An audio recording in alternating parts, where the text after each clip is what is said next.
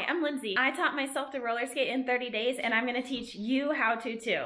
This is day three of your 30 day Learn to Roller Skate program. Today we're going to be learning how to do toe stop walks, spread eagle stops, T stops, heel manuals, arabesques, transition to stop, weaving, and a bunch of hops and jumps. But first, we're going to get started with our warm up. So, our first warm up exercise is bubbles. We're going to be starting with bubbles in place, just back and forward, just like I'm showing here. Make sure to keep your knees bent and your core tight and try to look straight forward, even though I don't always do that, but it's good practice too. Go ahead and do 20 back and forward, and then we are going to move on to what I'm doing here, which is moving back and forward. So multiple bubbles in a row. Let's do six times down and back of the multiple bubbles. Next in our warm-up, we have crossover steps. So we're going to start off with the easiest one, which is in a circle, and you're just crossing over the outer foot over top of the other side. Make sure to go both directions. Let's do five circles each way. Next, we're going to warm up our crossover steps forward. So you're going to cross over one foot and then step the other foot back so that the feet are back in line and parallel, just like I'm doing here. So go ahead and do six passes of that. And then we are on to manual practice in place. So toe up in the front, heel up in the back, and we are switching back and forward. Let's do this 20 times. Next, we are warming up transitions in place. So remember, open the door, close the door. Look where your hand is going, and you're trying to get your feet to be into a perfect line, even though it's not going to happen, but trying to get as close as you can. So 180 degrees, 180 degrees back. Let's do that 10 times. Each direction. Yay, now we're done with the warm up. Let's move on to new skills. Our first skill that we're going to be learning today, and the easiest, is toe stop walks. This is just to get you familiar on your toe stops and to where they are and how they feel on the ground and how to use them. First, we're going to start out by getting up onto our toe stops and then walking around, staying up on our toe stops, keeping our knees bent and our core tight, and just getting comfortable. Once you've spent a couple minutes on that, let's practice hopping up onto our toe stops. So popping up, facing both directions, turning around, walking around. Let's hop up onto our toe stops 20 times. Being able to do this is going to help a lot during one of the next moves we learn. But before we learn that way of stopping, we're going to learn my favorite way of stopping, which is the spread eagle stop.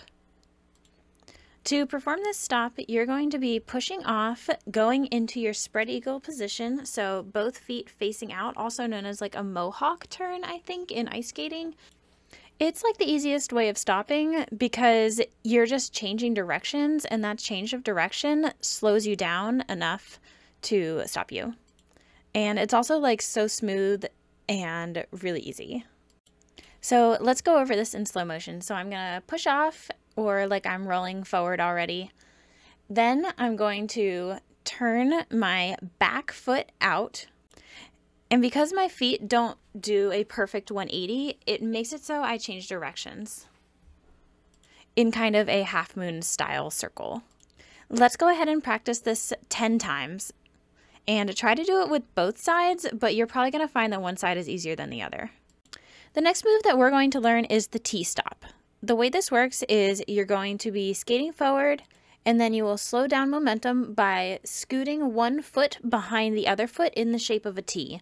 So if you're on flat hardwood floors, this is way easier than it is outdoors. If you're on something that isn't flat, like bumpy cement, this is going to be super hard and your back foot's just going to bounce up and down. So make sure to give yourself some forgiveness because it's really hard to do outside.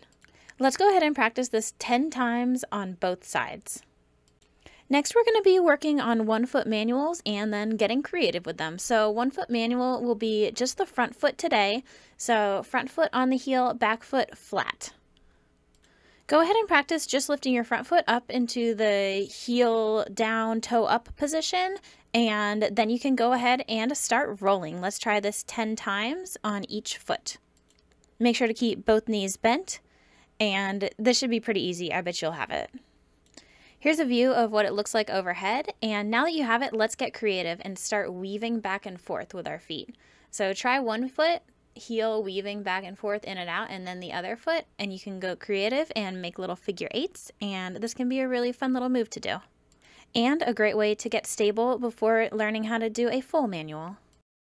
The next move is super straightforward. It is an arabesque, but it can be a little bit tricky to learn. So you want to start off really small with a low foot, and then you can progress to a higher foot like I have here. When you're doing this, make sure to keep the bottom legs slightly bent and try to look forward. Let's go ahead and practice this 10 times on either side, gradually increasing the height of your back leg. The next move we're going to learn is super important and I use it all the time. It is putting together the two things that we learned earlier, the transition and the double toe stop. So we're going to call this the transition to double toe stop. To perform this move, you're going to start out rolling forward. You're going to open up to transition and then shift your weight slightly forward onto those toe stops to stop the motion. So you're going to start off rolling forward, open up to transition, and then toe stops down. Here's a bunch more angles and views so you can see what my feet are doing. You want to do this on both sides. I'm really good at one side, but it's good to practice both sides. So let's go ahead and practice this five times on your left and five times on your right. And then once you have a favorite, go ahead and practice it five times more because if you need to stop in an emergency, you're going to want to be really good at at least one side. At first, your transition might feel a little choppy, especially if you're doing the open the door, close the door technique, but eventually it'll feel really smooth just like that last clip. The second to last move is weaving, and this is a super fun move, and it's a super easy way to show off to your friends that you know how to roller skate and you are good at what you do, even though it's secretly super easy. So just like how you were doing bubbles earlier, except you are actually crossing over the front foot and then uncrossing and then crossing over your back foot as your new front foot. Make sure to keep your knees bent and also use your legs to push outwards as your legs open up. Let's go ahead and practice this five times. The last skill we're going to learn today is a series of hops and jumps and they're all really fun. So first we're just going to start out by hopping side to side, increasing in speed and height. So we're starting off small steps, just stepping side to side, lifting up that knee. Then we're going to speed it up a little bit. Here we go. And push open side to side a little bit higher. And as you start to master this and be able to go higher and faster, you'll see that this transfers really well into skating fast. So go ahead and practice your hops side to side 30 times total, increasing in speed and height. And we are on to our two foot hops now.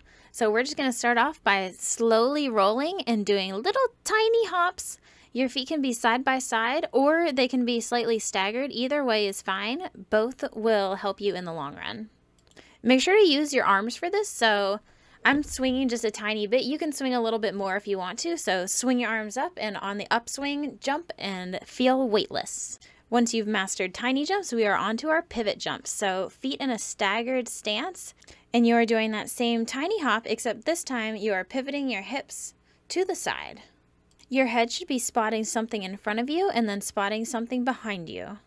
The goal is being able to keep your feet staying in a straight line. Let's go ahead and do 20 of those. Each one counts as one jump front to back, and you are all done for today. Really great job. Make sure if you haven't yet to pick up your free 30 day Learn to Skate challenge checklist, and I will see you tomorrow.